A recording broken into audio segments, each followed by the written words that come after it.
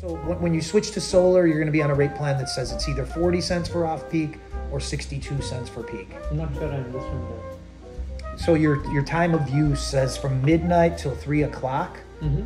Every kilowatt hour that you buy in the summertime, which is June through September, during that time from midnight till three, those kilowatt hours are worth 40 cents. When I buy from the.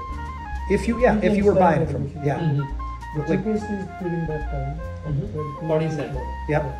Yeah. Mm. But peak the peak hours after four, then you're paying sixty something cents. It's like sixty two cents. It's not. Okay.